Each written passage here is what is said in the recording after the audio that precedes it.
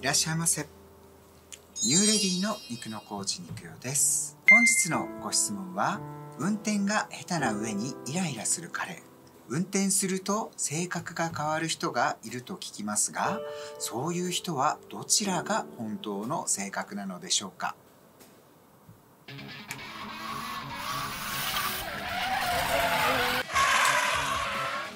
え？何？運転すると急にヤンキーっぽくなるって？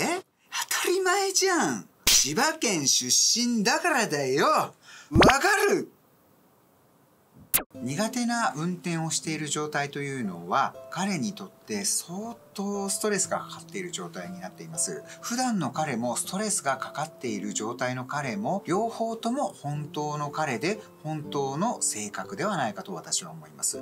人はね状況によって性格が変わるものです。私だってそうです。そしてきっとあなただってそうです。どちらが本当の性格だとするのではなく、こういう状況下では彼はこういう風になるという特性として見てあげる方がいいと思います。そうした上で、あなたがどういう状況で彼と過ごしたいのかを考えてあげればいいのではないでしょうか。運転でストレスがかかっている彼と出かけるのが嫌であれば、電車で出かけるとか、あなたが運転してあげてもいいんじゃないかなというふうに私は思います。何もかも一人の人間にね、完璧さを求めるというのは欲張りなんじゃないかなっていうふうに私は思いましたよ。